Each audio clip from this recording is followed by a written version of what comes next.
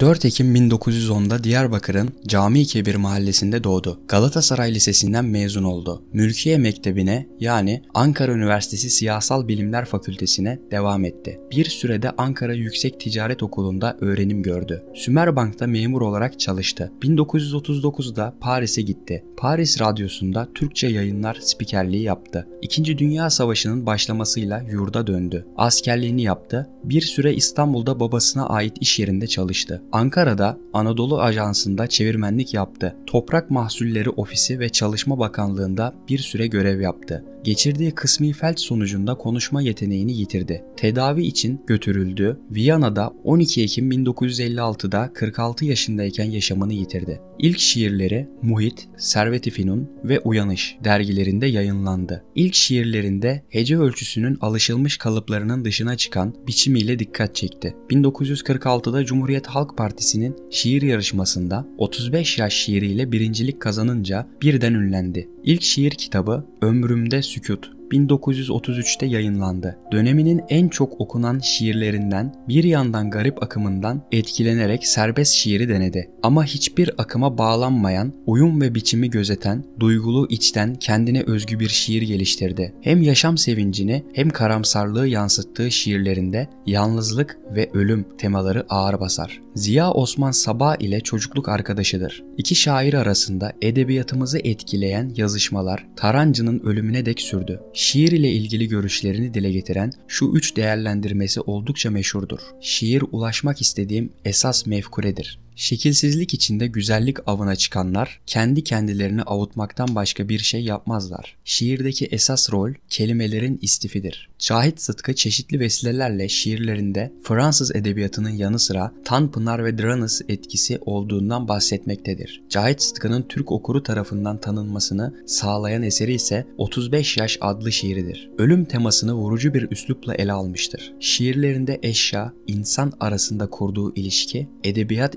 incelemelerine konu olmuştur. Hece veznini başarıyla kullanan Tarancı, az sözcükle çok şey söylemek taraftarı olduğunu her fırsatta dile getirmiştir. Ziya Osman Sabah ile olan mektuplaşmaları edebiyat tarihimizde oldukça meşhurdur. Sonrası adlı eserinde Fransız şiirlerinde yaptığı çeviriler de vardır.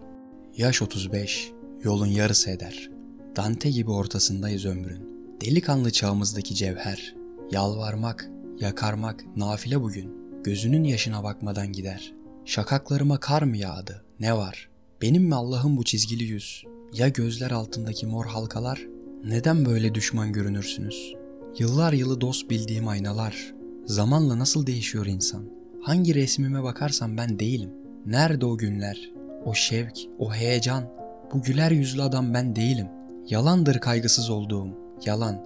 Hayal meyal şeylerden ilk aşkımız. Hatırası bile yabancı gelir. Hayata beraber başladığımız, dostlarla da yollar ayrıldı bir bir. Gittikçe artıyor yalnızlığımız. Gökyüzünün başka rengi de varmış. Geç fark ettim taşın sert olduğunu. Su insanı boğar, ateş yakarmış. Her doğan günün bir dert olduğunu. İnsan bu yaşa gelince anlarmış. Ayva sarı, nar kırmızı sonbahar.